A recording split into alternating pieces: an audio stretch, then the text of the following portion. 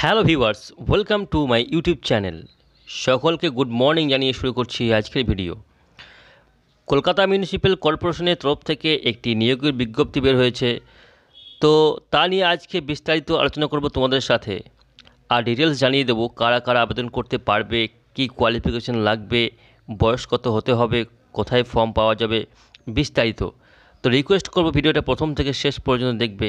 আর এই ধরনের job related latest update পেতে অবশ্যই আমাদের এই চ্যানেলটিকে সাবস্ক্রাইব করে রাখবে। তো চলো শুরু করা যাক আজকের ভিডিও তো আমি চলে এসেছি কলকাতা মিউনিসিপ্যাল কর্পোরেশনের সেই অফিসিয়াল ওয়েবসাইটে তোমরা দেখতে পাচ্ছ পেজটি ওপেন হয়েছে আমার মোবাইল স্ক্রিনে তো এখান থেকে একটি নোটিফিকেশান আমি ডাউনলোড করে নেব এবং তোমাদেরকে জানিয়ে দেবো বিস্তারিত।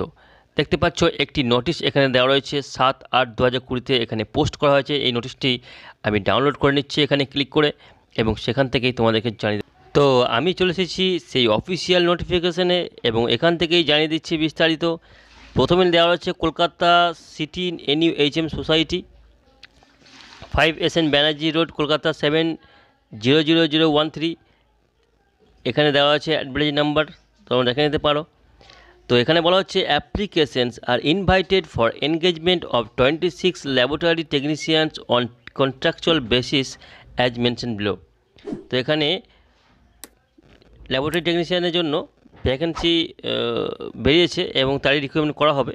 তো এখানে জানিয়ে দেবো ক্যাটাগরি ওয়াইজ কটা ভ্যাকেন্সি আছে। প্রথমে বলে দেবো আনরিজার্ভ ক্যাটাগরির জন্য একটি ভ্যাকেন্সি আনরিজার্ভ মেরিটোরিয়াস স্পোর্টস পার্সনের জন্য দুটি ভ্যাকেন্সি আনরিজার্ভ এক্স সার্ভিসম্যানের জন্য চারটি ভ্যাকেন্সি আনরিজার্ভ পিডাব্লিউডির জন্য রয়েছে চারটি ভ্যাকেন্সি এসসির জন্য চারটি ভ্যাকেন্সি রয়েছে এসসি এক্স সার্ভিসম্যানের জন্য দুটি রয়েছে এসটির জন্য রয়েছে ছটি ভ্যাকেন্সি ওবিসি এর জন্য দুটি রয়েছে এবং ওবিসি বির জন্য একটি ভ্যাকেন্সি রয়েছে।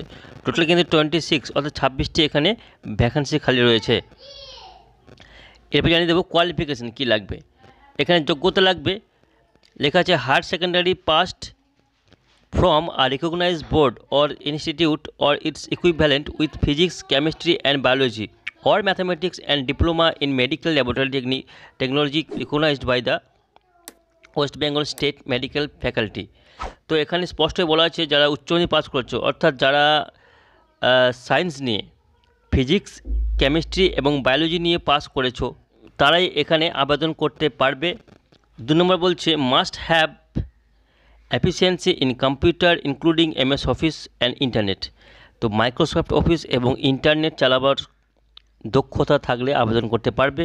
তিন নম্বর candidate should be permanent resident of West Bengal অবশ্যই তোমাদেরকে পশ্চিমবাংলার স্থায়ী বাসিন্দা হতে হবে। চার নম্বর ক্যাটাগরি বলা হচ্ছে এজ বয়স হতে হবে? এক আট দু হাজার কুড়িতে চল্লিশ বছরের মধ্যে হতে হবে। তো এক আট দু হাজার কুড়িতে চল্লিশ বছরের মধ্যে বয়স হলে তোমরা আবেদন করতে পারবে। এসসি, এসটি, ওবিসি, পিডাব্লিউর ক্ষেত্রে যে বয়সে ছাড় পাওয়া যায়, সেই ছাড় কিন্তু সরকার অনুযায়ী পাওয়া যাবে। এখানে ইনকাম অর্থাৎ স্যালারি প্রতি মাসে কিন্তু এখানে তোমাদেরকে বেতন দেওয়া হবে সতেরো হাজার দুশো কুড়ি টাকা। এখানে তোমাদেরকে জানিয়ে দেবো, এখানে আবেদন পদ্ধতি সম্পূর্ণ অফলাইনে একটি ফর্ম ডাউনলোড করতে হবে। সেই ফর্মের লিঙ্ক আমি আমার ডিসক্রিপশন বক্সে দিয়ে রাখব, তোমরা সেখান থেকে ফর্মটি ডাউনলোড করতে পারবে। সেই ফর্মটিকে ফিল আপ করবে এবং তার সঙ্গে সম্পূর্ণ ডকুমেন্ট কী কী লাগবে বলে দিচ্ছি। সেই সমস্ত ডকুমেন্ট নিয়ে তোমাদেরকে এটি সেন্ড করতে হবে, পাঠাতে হবে এই ঠিকানায়। রুম নম্বর একশো সাতচল্লিশ first floor five S N Banerjee road Kolkata seven zero zero zero one three তো এই যে ঠিকানা রয়েছে, সম্পূর্ণ এই ঠিকানায় তোমাদেরকে কিন্তু সেন্ড করতে হবে।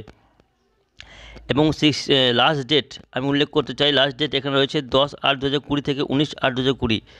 এই যে ডেট রয়েছে, এই ডেটের মধ্যে তোমাকে কিন্তু সেন্ড করতে, পাঠাতে হবে। আর সময় হচ্ছে এগারোটা তিরিশ থেকে চারটে, বিকাল চারটে পর্যন্ত। এই সময়ের মধ্যে এবং মনডে টু ফ্রাইডে এই কটা দিন কিন্তু ফর্ম জমানো হয়। এবার জানিয়ে দেবো কী কী ডকুমেন্ট লাগবে। এখানে তোমাদেরকে ডকুমেন্ট লাগবে ফর্ম ফিল করতে হবে, দু নম্বর তোমাদের এজ প্রুফের জন্য মাধ্যমিক অ্যাডমিট কার্ড তারপর কম্পিউটার সার্টিফিকেট তারপর যদি কাস্ট হয়ে থাকতো সেক্ষেত্রে কাস্ট সার্টিফিকেট তারপর তোমাদের ভোটার কার্ড এবং আধার কার্ড এই সমস্ত সমস্ত সেলফ অ্যাটেস্টেড জেরক্স কপি তোমাদেরকে অ্যাটাচ করতে হবে। তো এই হলো সেই ফর্মটি যে ফর্মটি তোমাদেরকে ফিল করতে হবে, এই ফর্মটি সম্পূর্ণ সঠিকভাবে ফিল করে ডকুমেন্ট অ্যাটাচ করে তোমাদেরকে ওই ঠিকানায় পাঠাতে হবে। তো এই ফর্মের লিঙ্ক আমি আমার ডেসক্রিপশনে দিয়ে রাখছি, তোমার সেখান থেকে ডাউনলোড করে নেবে। তো আজকের মতো এইটুকুই, আবার দেখা হবে পরের ভিডিওতে